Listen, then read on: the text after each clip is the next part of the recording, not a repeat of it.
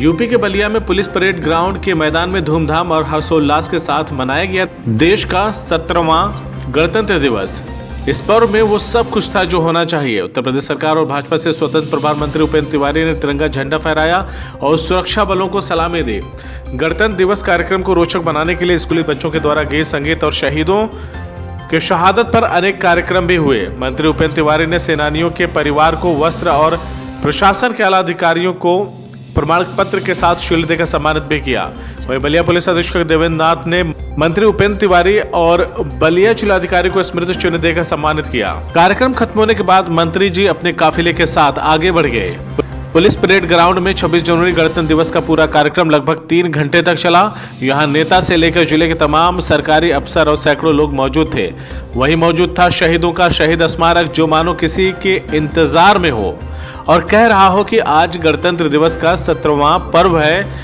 आज हमें भी याद कर लो, कोई एक फूल हमें भी चढ़ा जाए।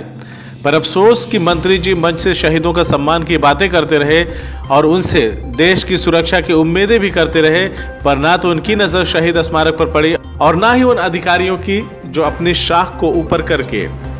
एक फूल उन शहीदों के नाम पर कोने में बने शहीद स्मारक पर रखना मुनासिब नहीं समझे।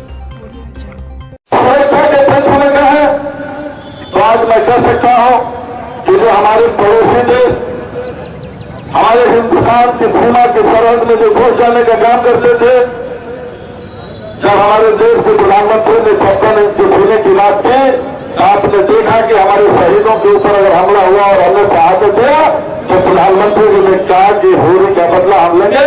और जिस तरीके से हमारे देश के सैनिकों ने सर्जिकल स्ट्राइक के ज़रिए पाकिस्तान में घुस करके जो हमारे शहीदों को जिन्होंने मारने का काम किया है उन लोगों को मार गिरा करके और सर्जिकल स्ट्राइक के ज़रिए बिना नुकसान के हिंदुस्तान की सरहद को मज़बूत करने का काम जिस तरीके से हमारे देश के सैनिकों ने किया है निश्चित रूप से मित्रों ये हम सबके लिए गौरव की बात और देश के सैनिकों का हौसला अफजाई करने के लिए राफेल से लेकर के तमाम ऐसे अत्याधुनिक